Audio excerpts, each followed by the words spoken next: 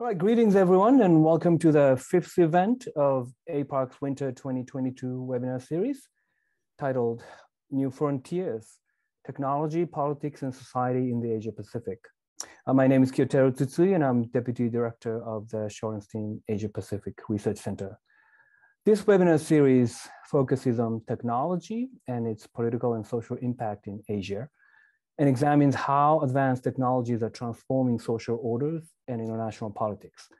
The series covers a wide range of pressing issues from great power contest to global trade and supply chains, and from rising digital authoritarianism to climate change solutions and digital healthcare.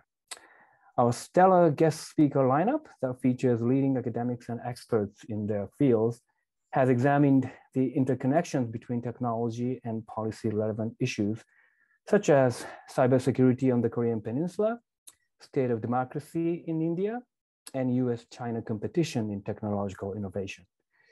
Each event is led by one of APARC's research programs. And today we are pleased to host a discussion on the digital transformation of Southeast Asia, led by our Southeast Asia program. So without any further ado, let me turn the virtual floor over to Dr. Don Emerson, Director of the Southeast Asia program at APARC who will moderate the discussion. So Don, please take it away. Thank you, Kiyo. Thank you very much. On behalf of the Southeast Asia program at the Shorenstein Asia Pacific Research Center at Stanford University, I'm delighted to welcome you to a webinar on the digital transformation of Southeast Asia, issues and prospects. As my colleague Kiyo just noted, today's event is one of a series put together by our center under the title New Frontiers, Technology, Politics, and Society in the Asia Pacific. I'm especially pleased that we have two outstanding qualified scholars to walk us through digital transformation in Southeast Asia. And the word transformation is important because I don't think this is an underestimation of the importance of the impact of technology, what we choose to call high technology in Southeast Asia. To save time for presentations and discussions, I will introduce the speakers far more briefly than they deserve. Huong Le Thu, a senior analyst with the Australian Strategic Policy Institute, co-wrote a just published study of our topic entitled Digital Southeast Asia. She is a prolific and influential observer of security and diplomacy issues in the region who has held positions in universities and think tanks, including the Center for Strategic and International Studies in Washington, D.C. And I was amazed to learn that she speaks five languages and has published in four of them, which is quite amazing. Elina Noor is no less impressive. While doing double duty as the Asia Society Policy Institute in DC uh, as its director for political security affairs, as well as its deputy director, she has launched just recently a podcast entitled Between the Binary Tech and the Global South, which explores how technology interacts with socioeconomic and political variables in Southeast Asia and in other developing regions.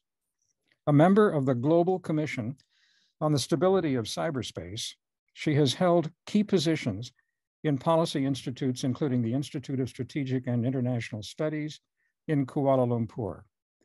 Taken together, I might add, our two speakers have four advanced degrees. So that's the introduction. And therefore, I'd like to turn it over first to um, Dr. Le Thu, and then following her to uh, Elina Noor for brief presentations on our topic, followed by a little bit of interaction between the two of them and myself, followed by the Q&A. And you can use the Q&A option at the bottom of your, of the, your screen for that particular purpose. Okay, thanks. Um, Dr. Le Thu, over to you. Thank you, Don. Um, thank you so much for having me. It's a pleasure to, to join you um, uh, at the webinar series. It's great to be with Elina um, on this talk. And I wish I could be in California myself right now, but um, this is what technology enables us. And that's what we are going to talk about, the technology, the role of technology uh, very fastly um, in a very fastly changing environment in Southeast Asia. let me start with a little bit of context, um, how just to showcase how diverse and uneven um, the region is, and uh, we should always take that into consideration talking about any aspect um, uh, of technology, uh, digital uh, development, as well as the future of digital order. Is, uh, if, uh, if we want to look at that way. So let me start with a more geopolitical um, context, how the technology is um, shaping, uh, also in terms of uh, uh, political and national security choices in Southeast Asia before I move to, to the opportunities that this rapid digital transformation uh, offers. So um, oftentimes Southeast Asia, when we talk about um, great power competition. You, you, see that particularly from US or, or China or other external uh, countries is seen as the arena of great power competition. And I think that was very uh, visible, but very apparent when uh, the Huawei ban was announced and it was very interesting to see how that was um, received, responded to, or acted upon in Southeast Asia. And we can, that is a really good example to showcase the diversity of choices um, that are being shaped in the region uh, and uh, likely uh, uh, making the digital and technological future of Southeast Asia even more uneven. Um, so I think, uh, first of all, the Huawei ban was uh, certainly a political decision. It, it, in the particularly in, in the shaping in, and um, building the 5G network. In Southeast Asia, we saw an array of choices uh, and approaches to that ban.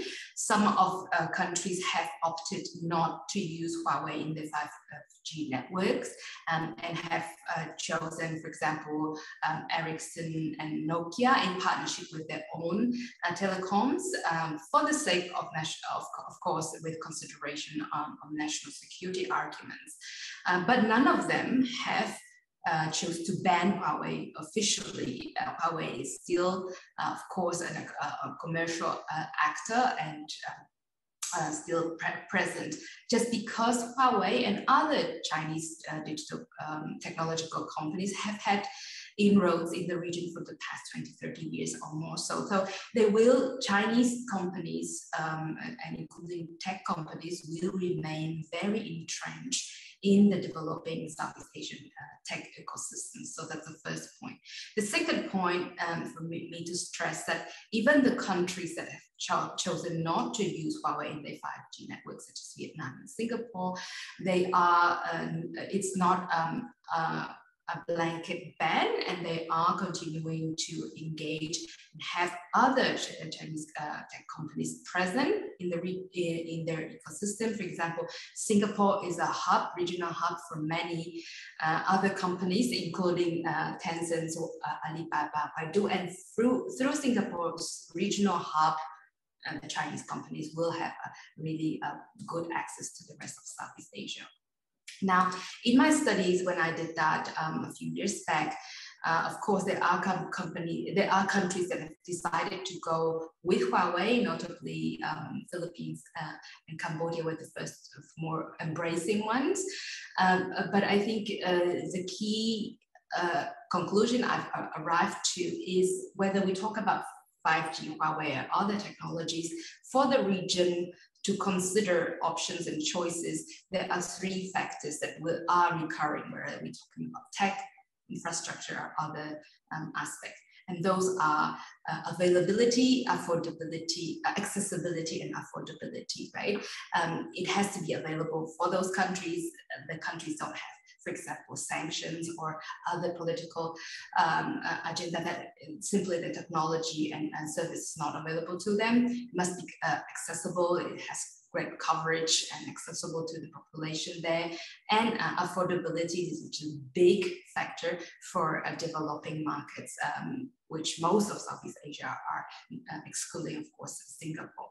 So uh, we have to remember about that. The Huawei ban was a very political um, issue and also, of course, national security. But even with that, I think um, the Southeast Asian countries were very sensitive and um, careful about uh, US announced um, ban, which were supported by a number of uh, close allies uh, outside of the region because US uh, former allies, Thailand and Philippines, notably didn't embrace that ban either.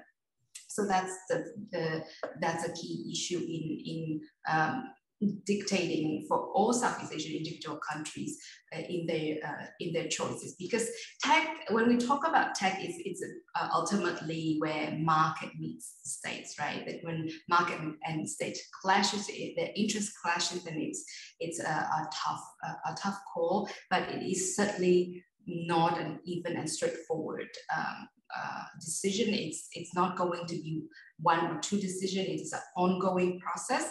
So we, have we are seeing, seeing um, a really complex network of different decision, different networks, different usage in Southeast Asia.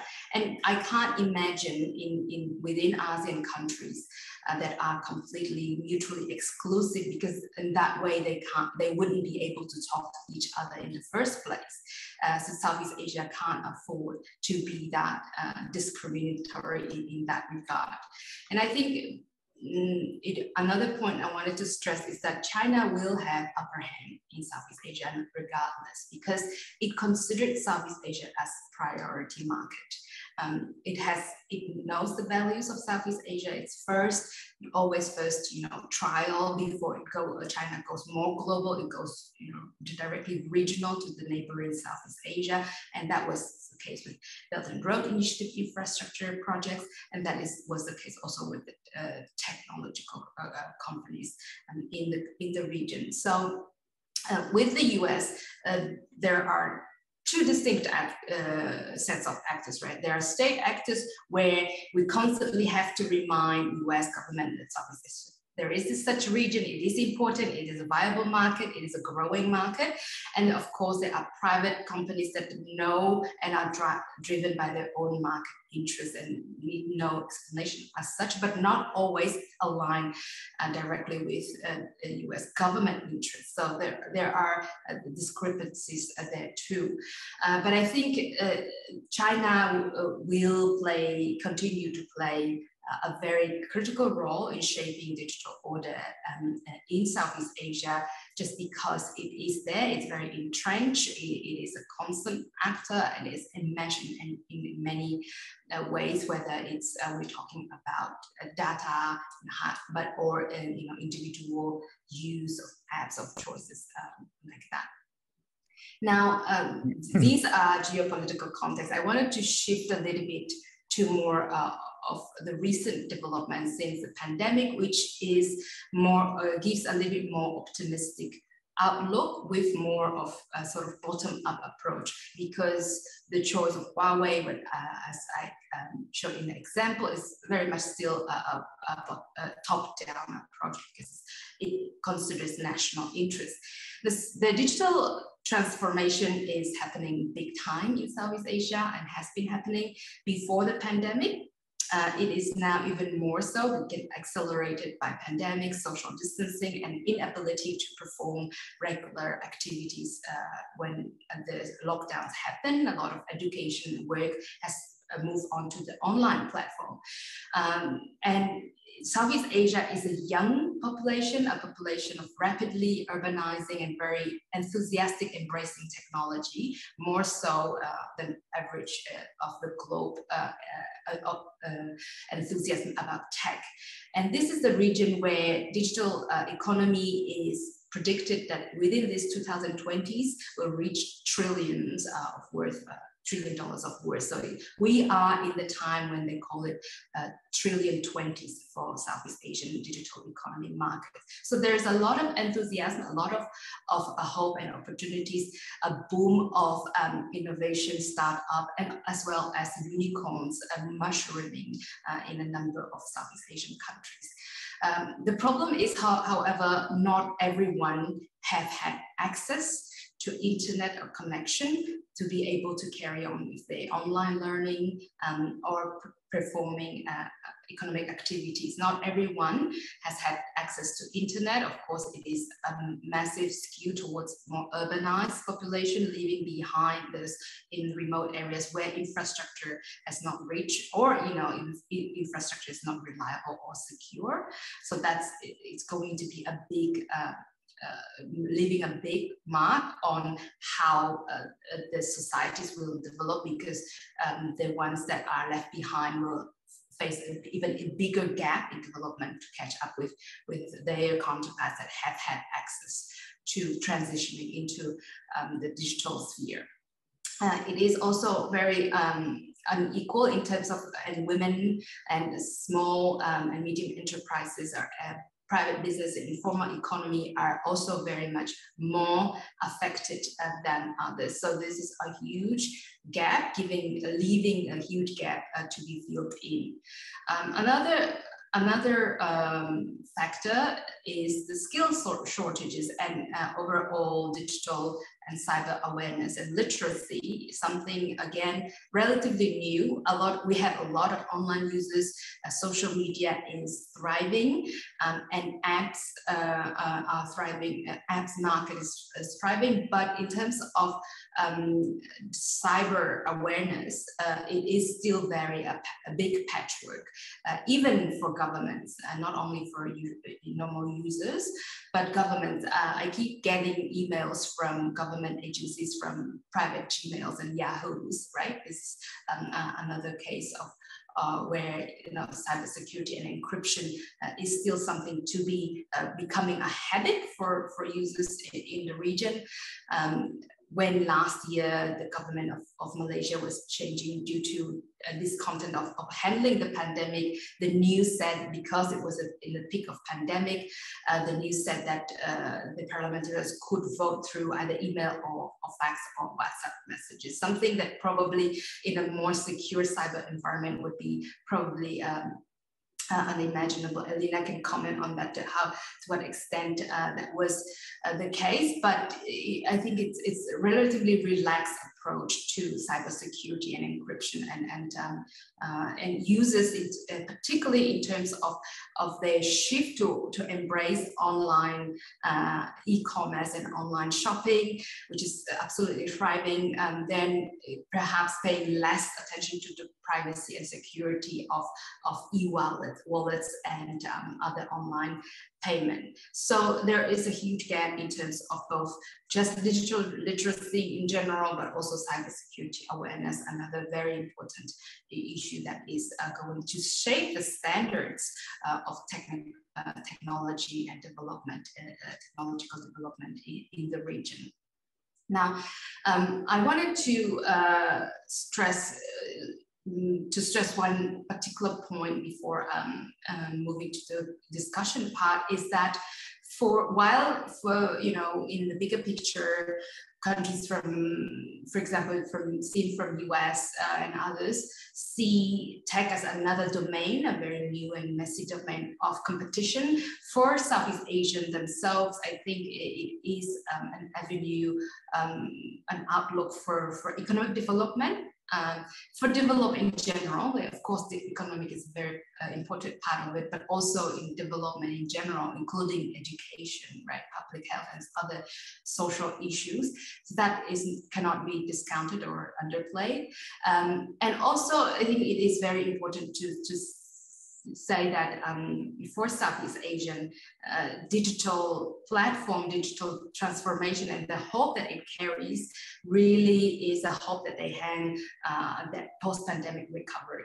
Uh, in all of ASEAN, um, I think that within ASEAN, it's very hard to reach any consensus or common ground. Uh, right now, I think the one of the most um, the closest to the common uh, view within the region is, is economic recovery from the pandemic and uh, the embrace of digital uh, economy, uh, digital trade, and other digitally enabled uh, economic uh, activities because the pandemic has jeopardized the more traditional sectors such as tourism and manufacturing. a lot of countries are hanging their hope on that digital breakthrough in the uh, that uh, COVID pandemic has induced um, uh, on their economies. So we'll see a huge enthusiasm within ASEAN um, to embrace that. And even this year, Indonesia, as a chair of G20, set three top priorities um, of its chairmanship, and one of them is digital transformation,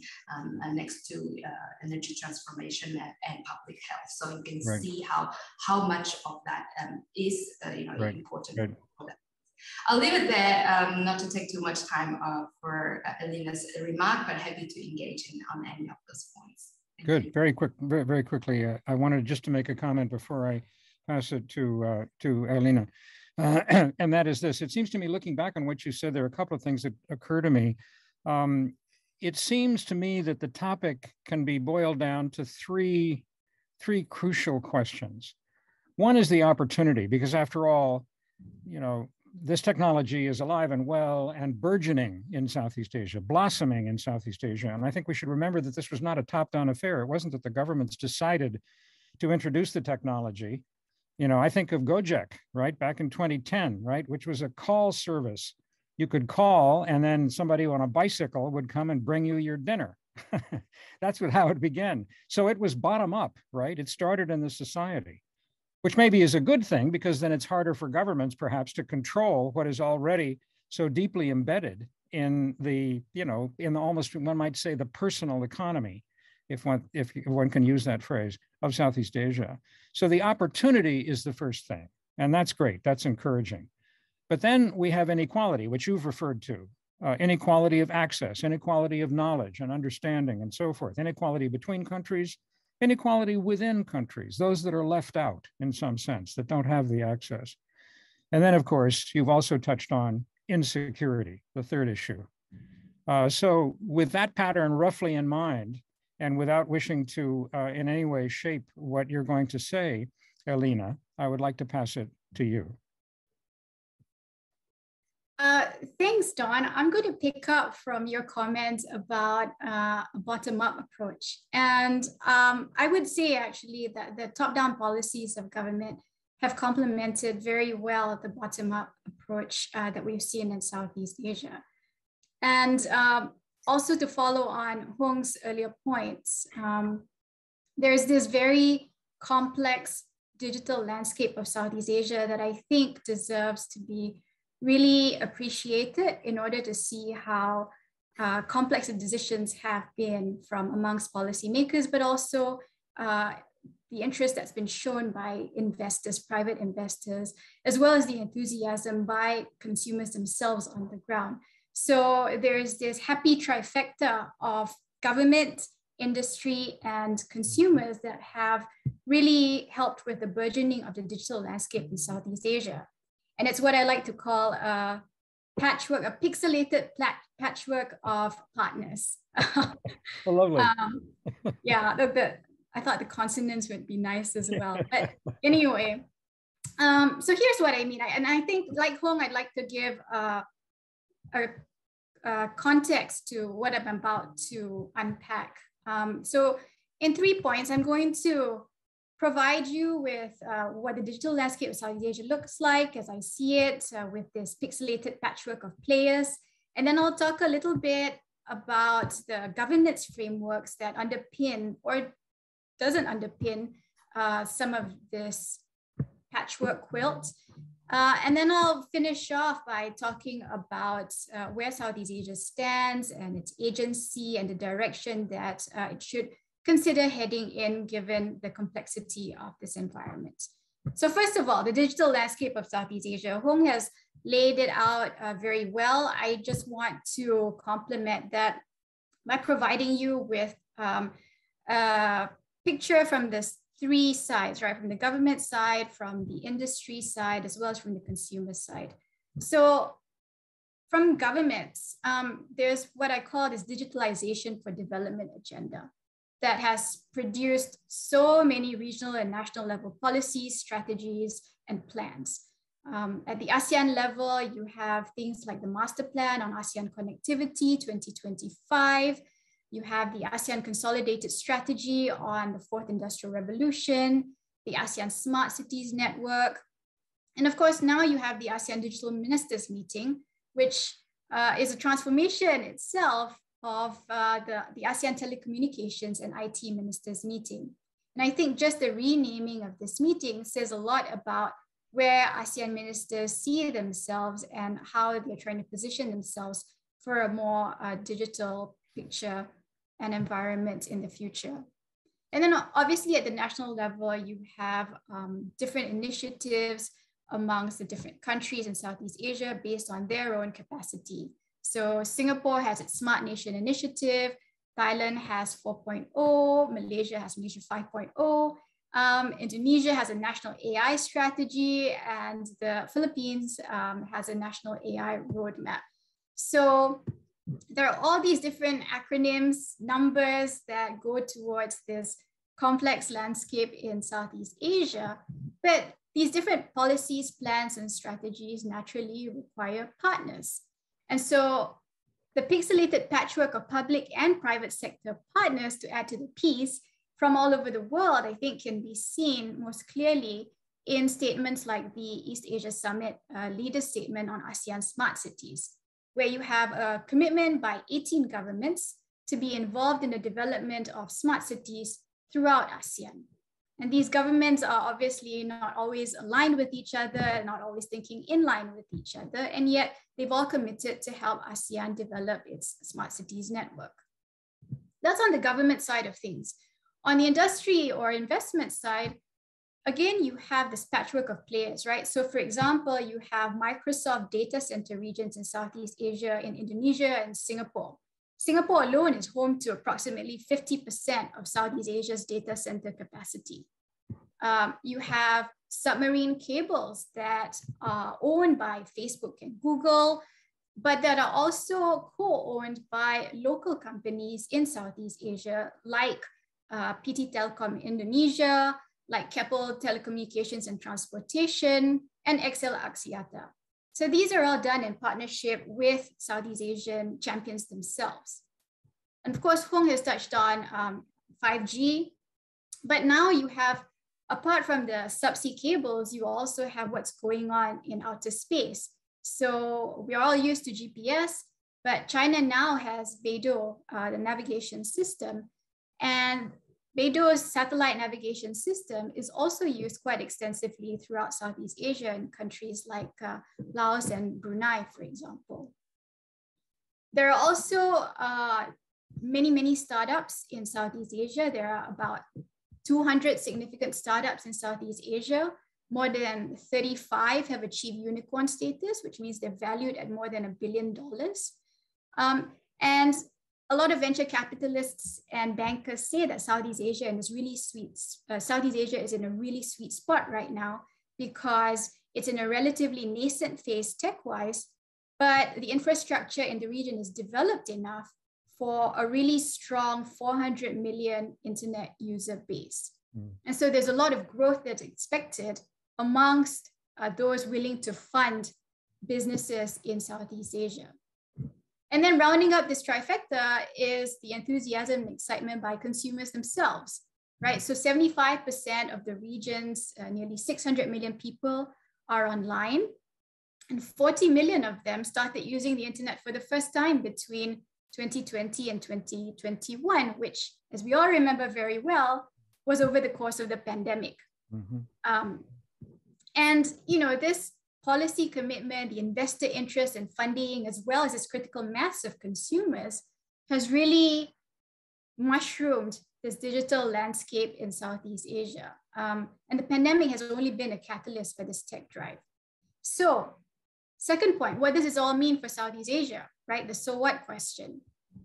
Let me give you three implications. Uh, first, there's an implication for the interoperability of systems and networks and platforms in Southeast Asia.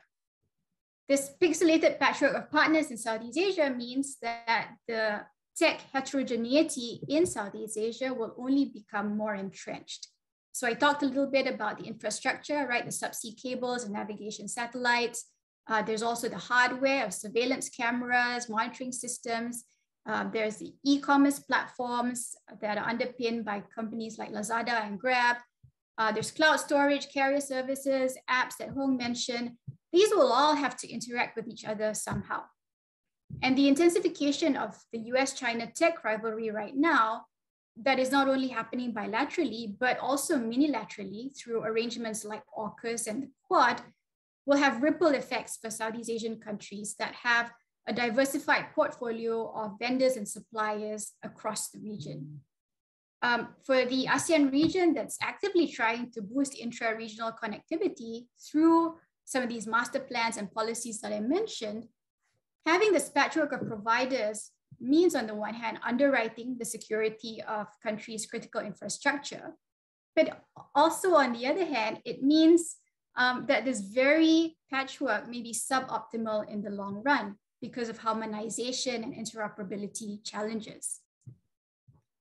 Uh, and I can give you some examples, but just one right now, you know, Indonesia is mulling both 5G and open RAN deployment, radio access network deployment for connectivity. Now, given Indonesia's sheer vastness, right, 17,000 islands and its topography across these 17,000 islands, having both 5G and an open RAN uh, deployment makes sense. 5G would be for more dense urban areas, Open RAN would be for more rural areas across the archipelago. Now, Indonesia and Huawei are exploring a collaboration in 5G and other um, high-tech developments, but Huawei is not a member of Open RAN. And so if Huawei is selected as a 5G core provider uh, by Indonesia, and it were to deploy this 5G technology in urban areas, while Open RAN is deployed in rural areas, there are questions about the interoperability of these systems, uh, given that Huawei is not a member of Open RAN um, in, in Indonesia.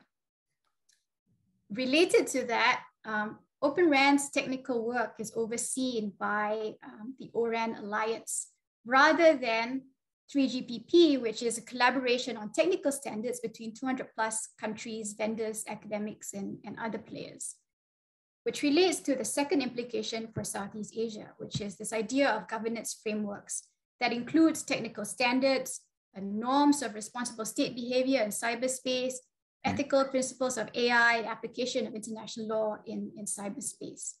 these have all become arenas for geopolitical contestation with jostling for leadership and greater membership of these very standards organizations, as well as what I call thought tussling at international forums such as the UN.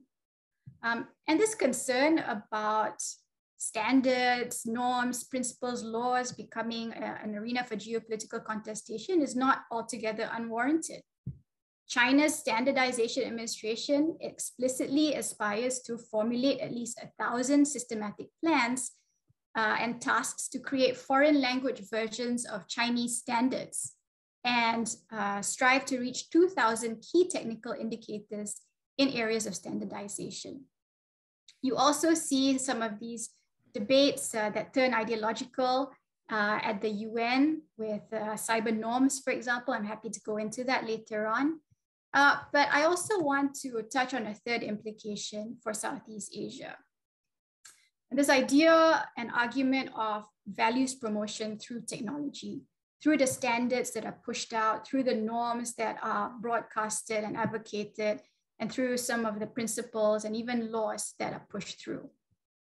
This idea of values promotion, uh, largely advocated by the West, uh, the US and its allies, I think is less convincing given Southeast Asia's own historical experiences with democracy promotion, uh, particularly during the Cold War. Um, and so I think this argument of values through standards, for example, holds less credence and credibility in Southeast Asia's eyes. And Huong has already talked about how uh, some of the decisions, many of the decisions in Southeast Asia have been driven by pragmatism more than principle per se. Now, finally, my final point is on Southeast Asia's uh, leverage and agency for its own digital future, or futures as the case may be. Uh, one of my favorite points to make regarding this is that today, two thirds of the global population lives in Asia. Right? China and India obviously account for the bulk of that figure, But let's not forget that Indonesia, the largest country in ASEAN, is the world's fourth most populous nation. And by 2100, by the turn of the century, 90% of the people on the planet are expected to live outside Europe and North America. And so if most of the people living in the world will live in the global south, including in Southeast Asia, then shouldn't this region, Southeast Asia, have an equitable say in how technology will change their lives and how the governance structures of technology, the norms and rules and frameworks should reflect the perspectives, expectations, and value systems of this population. Um, I think there are two issues to unpack very quickly.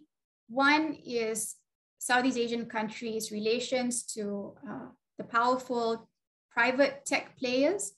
And two, obviously, the country's relationship with powerful governments um, that house many of these powerful private tech players.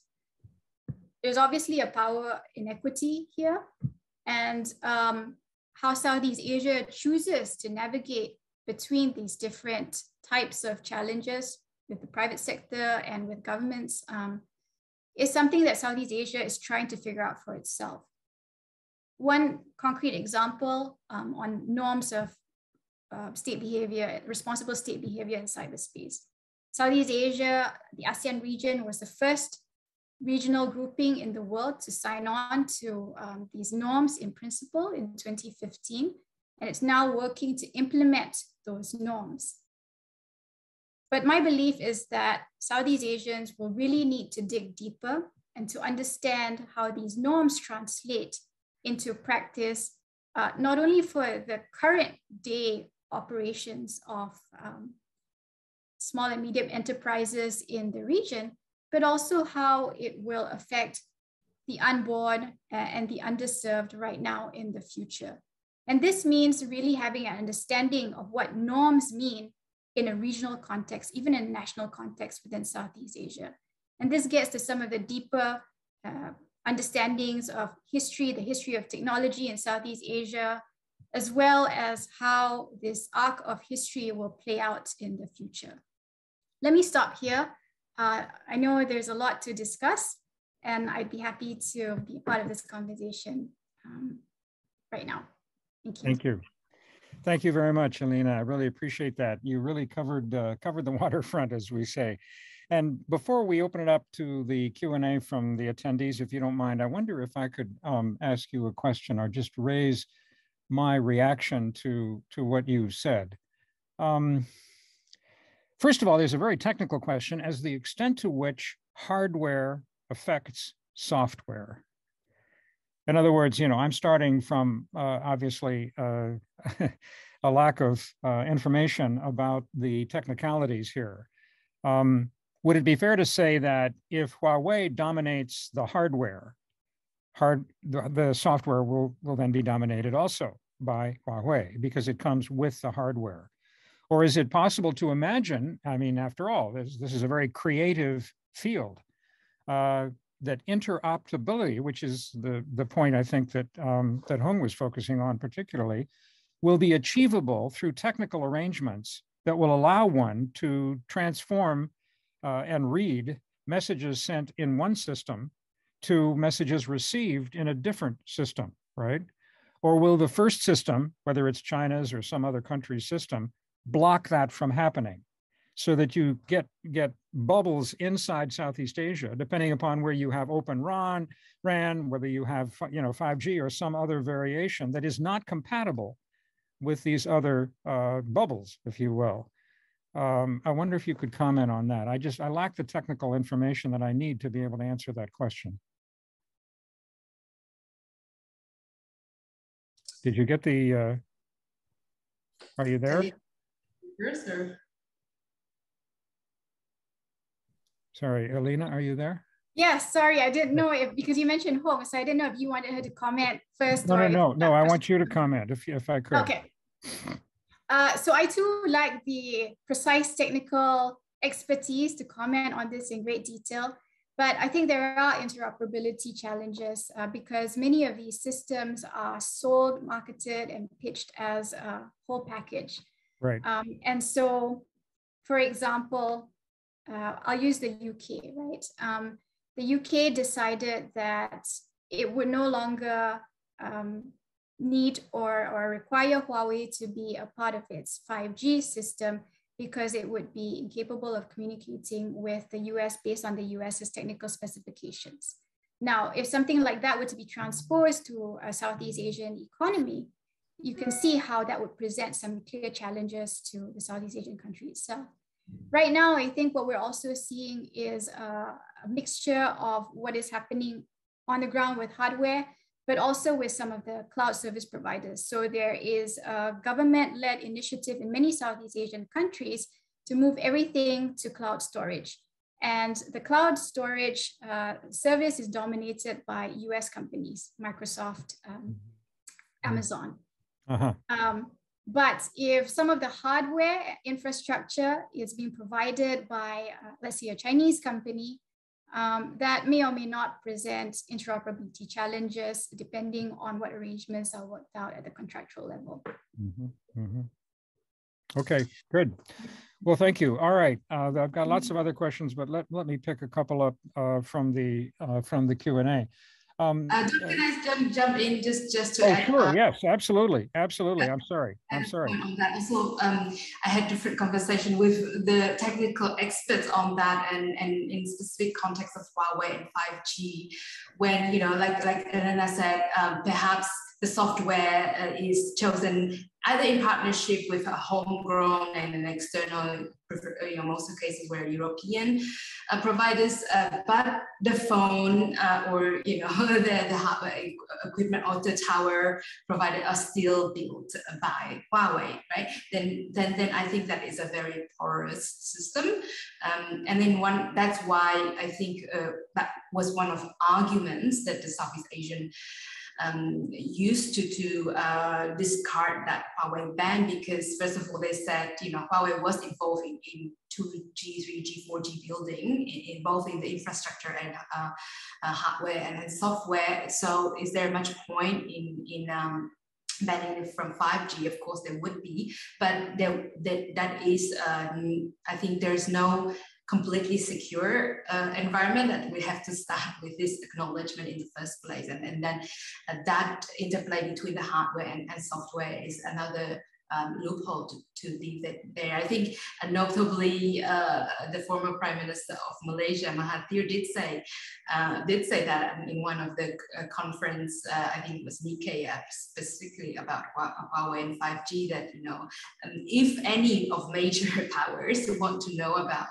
any country they know already. So what is really a point of banning Huawei or not? But but there is um, there will be this like usual, you know, there are considerations on the national security levels and government, uh, which will present uh, interoperability issues and trust as well. Like we, we were talking about different ecosystem uh, um, and the fear that there will be a technological iron curtain happening. But on the user and population level, people can can use perhaps Nokia as a 5G network provider, but with their Huawei phones, which are really pro, mm-hmm. uh, uh, very very popular in Southeast Asian markets as well as Europeans as well. Right. Well, actually, maybe I could follow up with another question. Uh, if I could, because the agreement was we'd have a bit more conversation before we get to the Q&A. Um, so here's my question. Is there any evidence in Southeast Asia of the beginning of the surveillance that is associated with China's social credit system, where your phone essentially uh, uh, enables, uh, in the Chinese case, the government to give you points. Uh, and if you jaywalk, for example, you ignore the red light if you're walking across the street, then maybe you get a point. And if you get a certain number of points, then you find that, you know, you can no longer buy an airline ticket, you know, to fly to either in country or to Tokyo or somewhere else.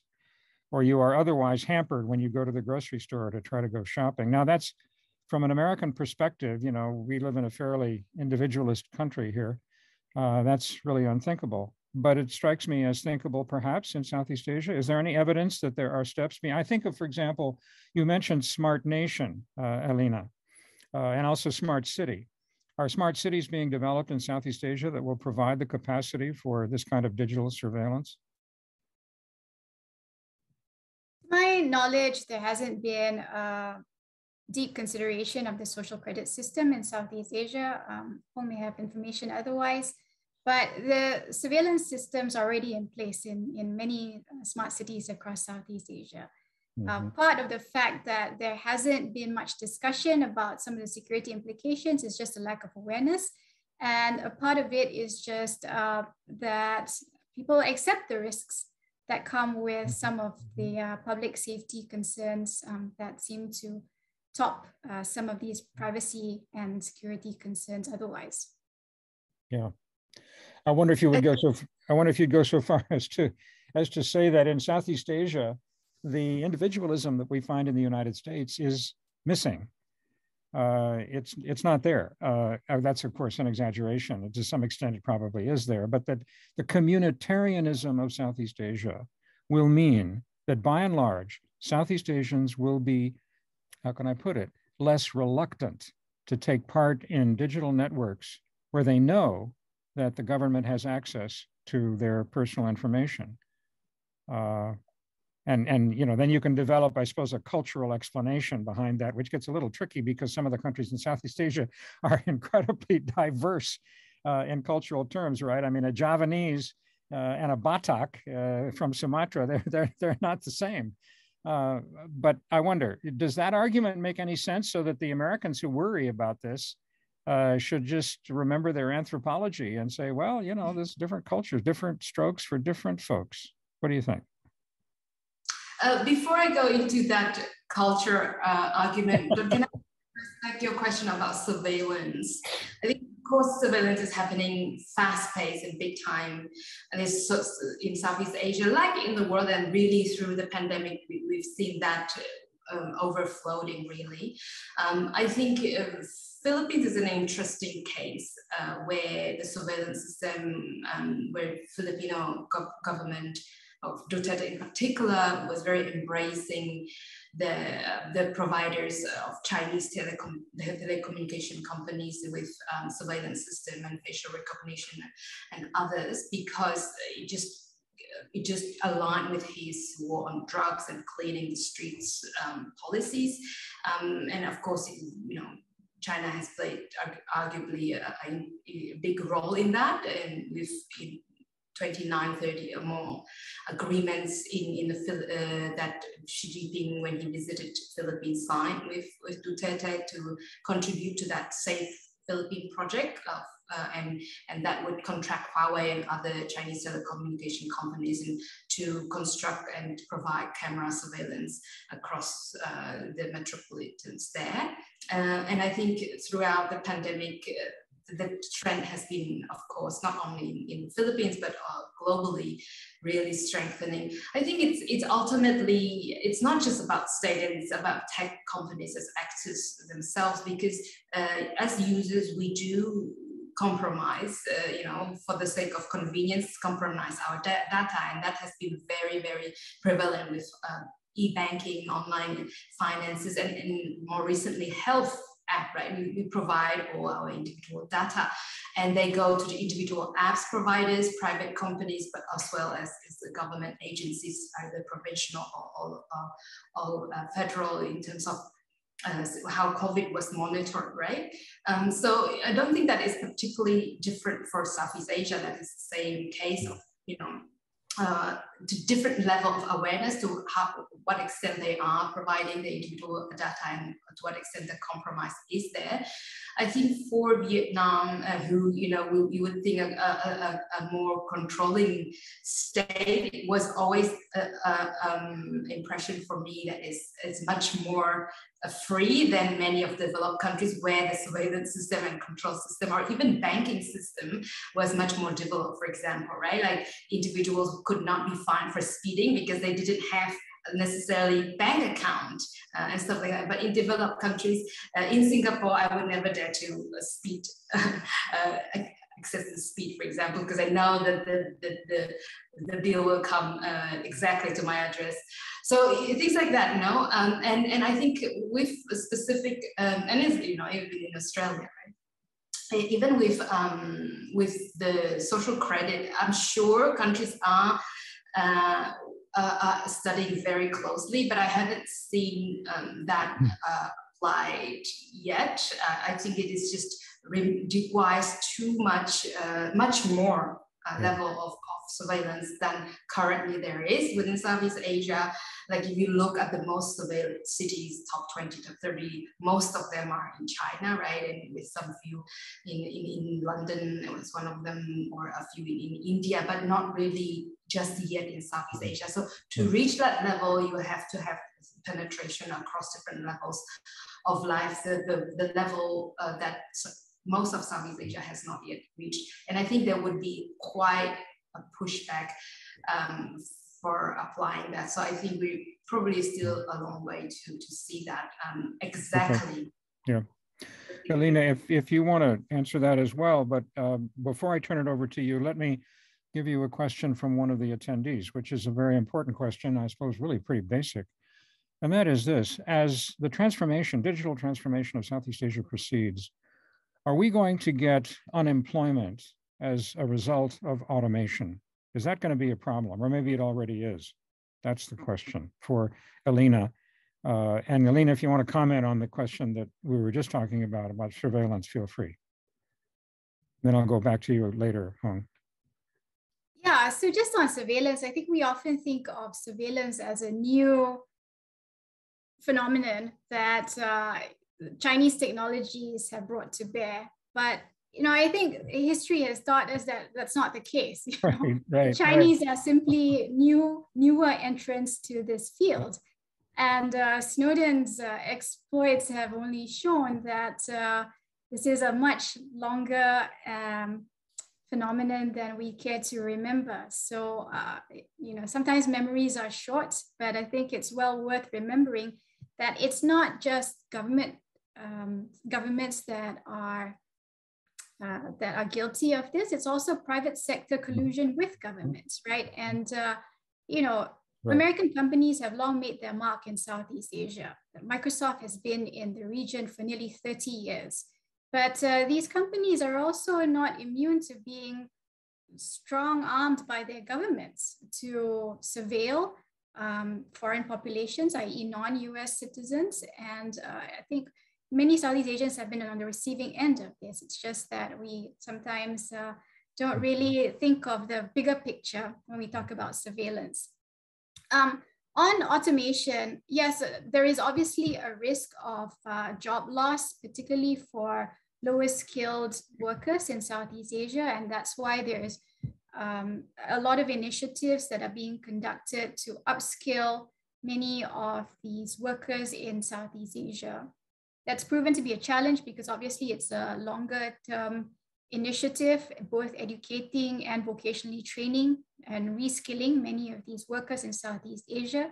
But I think uh, there have been a number of studies that show that for the highest skilled workers, that human touch will still be warranted. And the risk of job loss through automation is not all that it's cracked up to be, or the dangers and risks of such job loss um, can be mitigated if governments proceed with their policy planning in a wise fashion. Okay, all right. Okay, good. Um, another question from uh, the audience. Um, at some point, uh, won't tech companies in Southeast Asia, or tech entrepreneurs, if you will, demand reciprocal access to the heavily restricted Chinese digital market? Could this become an issue? Either one would be happy to answer, I hope.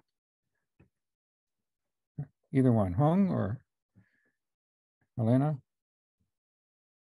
In other words, the, the image here is that China's digital market is, is controlled. Uh, and in Southeast Asia, surely the tech entrepreneurs would like to break into that market. I'm not quite sure what it means to say that China's digital market is controlled, though. Um, but would either of you respond? In other words, is there inequality between what China can do uh, with data compared to what Southeast Asians can do with data? And do Southeast Asians want to correct that difference? I've spoken a lot, but um, I want to give Huong the chance. I, will take a crack at it um, after Huong goes. Okay. Huong? Um, yeah, I haven't seen that much uh, of a conversation now. Uh, you know, um, perhaps this is it, it is the reason why.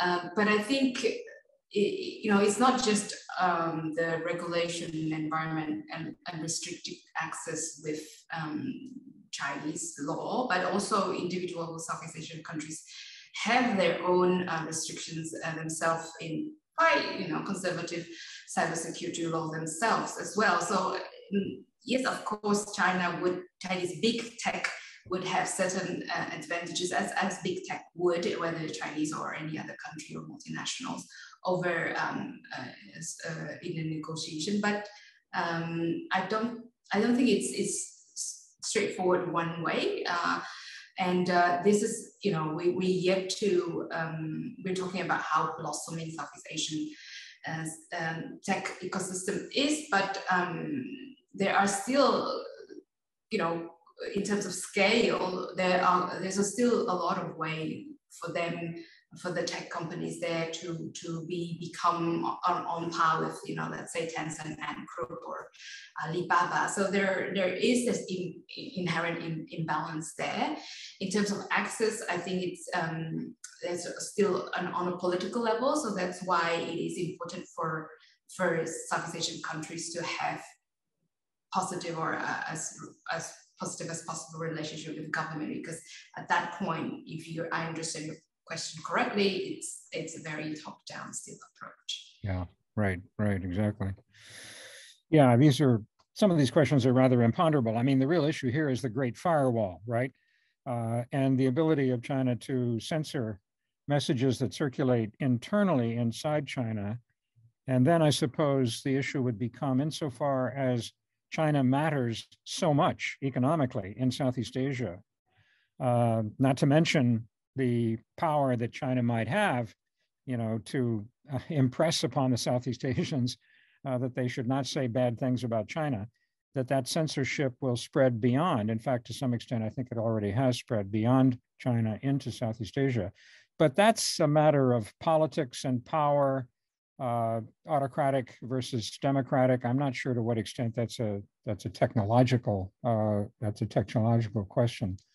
Um, okay, so um, there is uh, another question here um, uh, focusing again on the US-China tech uh, competition. Um, and that has to do with how the different governments, and I would add the businesses in Southeast Asia, uh, are shaping their policy toward data governance you know, how you handle data. This gets at issues particularly of censorship and self-censorship, both domestically and regionally. For example, is there any effort in Southeast Asia, this is my addition, uh, to generate what some might consider to be a censorship program for the region? I mean, I can imagine, for example, eventually this happening under ASEAN auspices. And in that context, uh, particularly since you have discussed ASEAN's activity, a whole series of initiatives. And without wanting to sound too cynical, that's characteristic of ASEAN plans and uh, you know, uh, this, you know, with dates attached to them, you know, 2025 or whatever. Uh, with all of that activity, do you think that ASEAN is going to establish what one might call a kind of a regime of rules for the road, right? Rules for the digital road, perhaps connected to the digital Silk Road, in that we haven't talked about the implications of China's economic penetration of the region uh, with regard to the digital aspect. Do you see any prospects there? So there are a couple of questions that are mixed up. And if you wanted to pick one of them, that would be great, or both. Either one of you. Elina, you want to take that on and then for Huong, or how do you want to? Sure, I'll, I'll uh, go with the question on data governance. I think that there are many Southeast Asian countries that have already begun to formulate or are in the process of drafting uh, data, some form of data governance law, whether it's data protection or data privacy.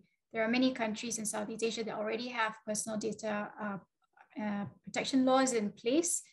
Um, and ASEAN as a region has what is called a data management framework that has good practices um, that tries to secure and protect the data that flows through the economies in order to facilitate largely trade.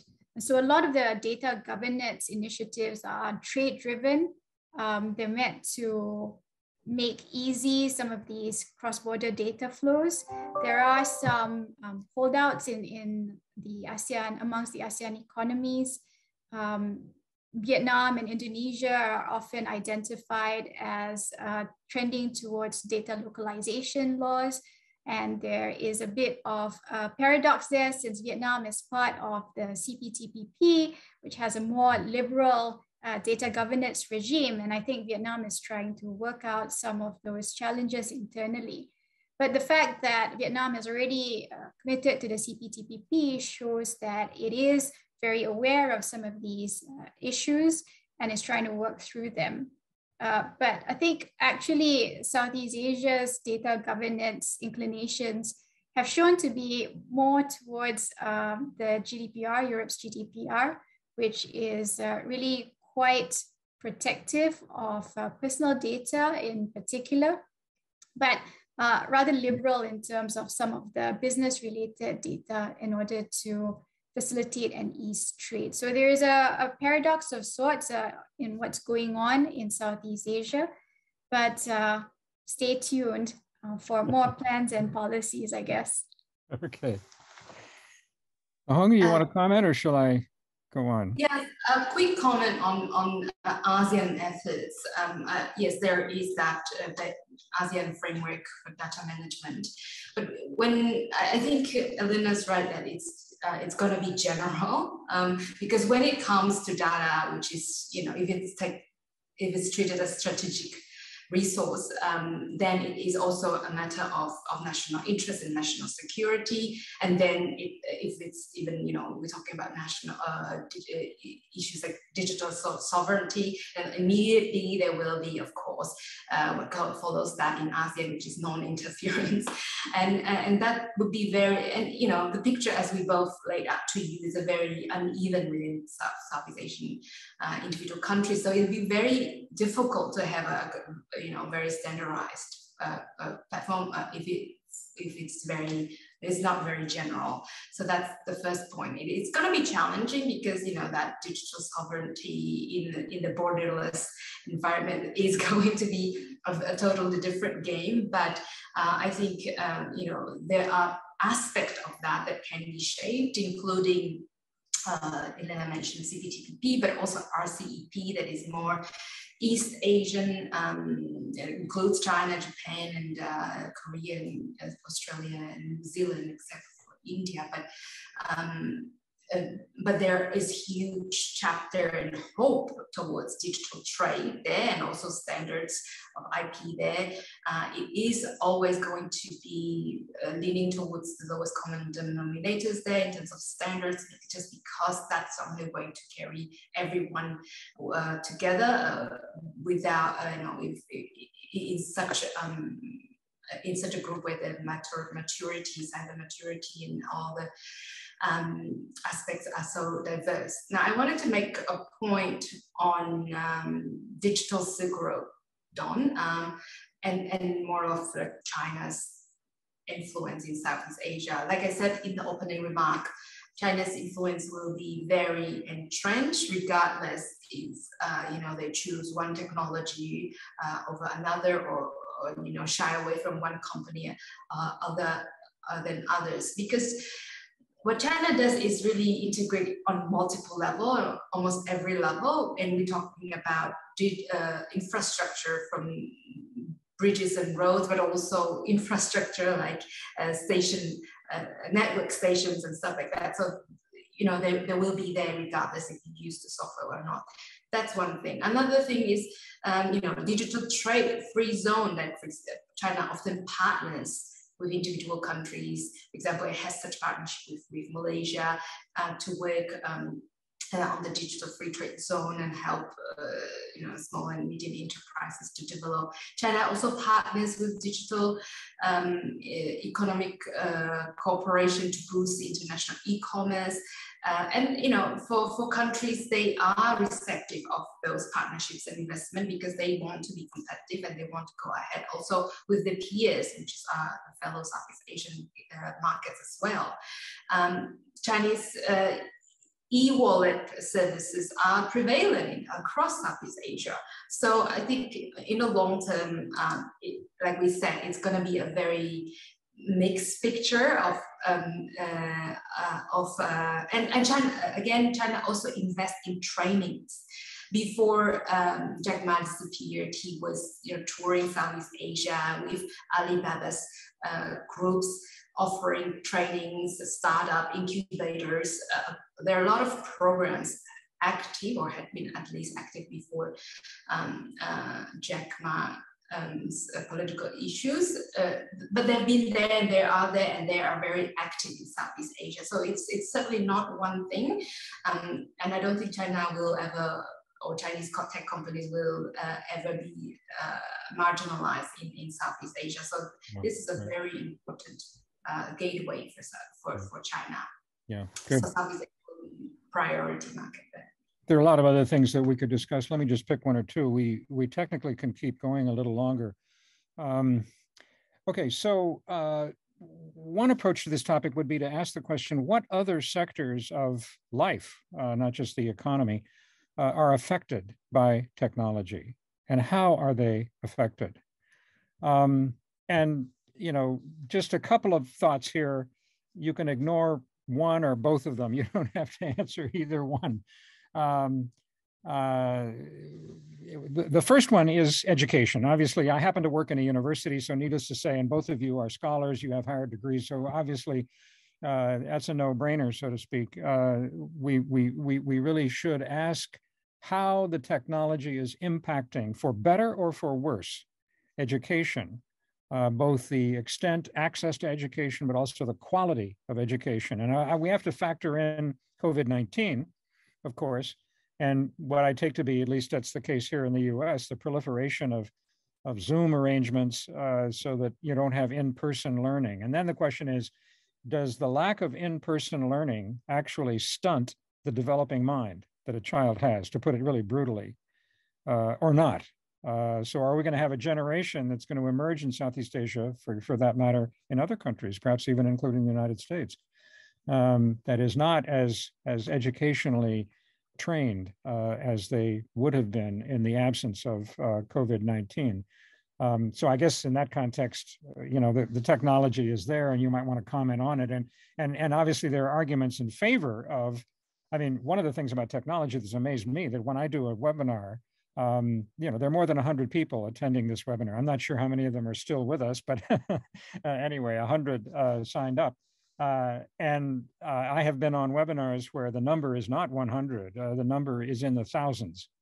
And so the opportunity to reach large numbers of people for an educational purpose, perhaps kids that are uh, out in the boondocks that uh, you know can't, can't, can't afford tuition, a long way from a from a school. I mean, that would be, you know, as I said at the beginning, that's an opportunity that one might relate to technology. Um, and then the other thing, if you don't mind my saying this, this is a, raising a rather sensitive subject, which is the rights uh, and opportunities of women. Uh, and of course, Southeast Asia is very diverse, so I'm not treating it as a single block by any means.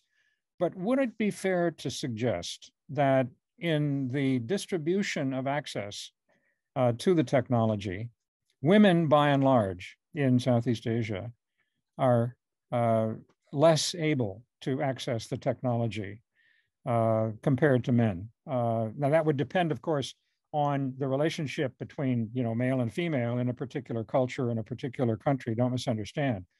But I wonder if either of you feel that one of the inequalities we've talked about a number of them uh, involves gender with regard to technology. So they're just two two questions. Toss them out, and you can ignore them or answer them. Either one. Elina, you want to try, or or If you're not interested, that's fine. no, I, I think there is a basic issue of digital access. Um, and this has been highlighted by the pandemic. So there have been a number of anecdotal stories uh, in, in my country, in Malaysia, but also in other parts of Southeast Asia, where lockdowns that have forced students um, to rely on the internet have been particularly challenging for a number of these students because they haven't been able to gain um, sustained access, good access to some of their classes online.